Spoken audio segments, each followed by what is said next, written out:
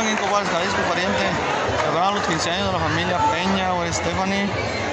Tenemos a toda la familia Peña, más invitados, grande la familia. Y aún faltan más personas por llegar a una chulada aquí ambientarse por acá. Y resalta nuevamente los artistas que han sido muy célebres de aquí, de la comunidad de Copares, muy del mariachi, así que seguiremos grabando enseguida más. A ver si hay más cantantes por acá, ¿sí? I was not.